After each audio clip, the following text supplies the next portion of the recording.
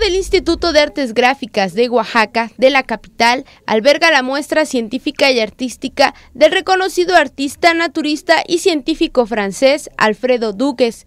Dibujos e insectos disecados son parte de una larga investigación que refleja la búsqueda de un área inexplorada y el reconocimiento de especies académicas de México.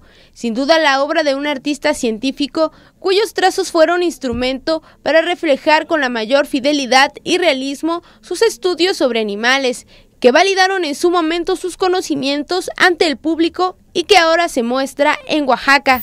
La exposición de Alfredo Dugues albergará el Instituto de Artes Gráficas de Oaxaca hasta diciembre del año en curso.